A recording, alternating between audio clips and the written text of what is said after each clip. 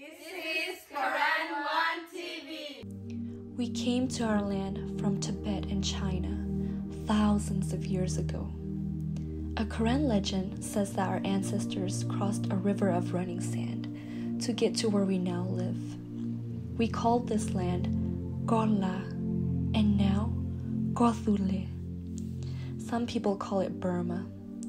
The ruling military government changed the name to Myanmar after thousands were killed. Millions of my people still live in Burma. Mary Brave Woman, a Native American, once said, The land is sacred. These words are at the core of your being. The land is our mother, the rivers our blood.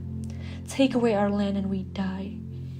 Burma is the land of our ancestors, the place where our culture, language, and traditions were born. We can't dishonor them by not fighting for our land. I have survived hunger and attempted rape, bombs being dropped on me and my family.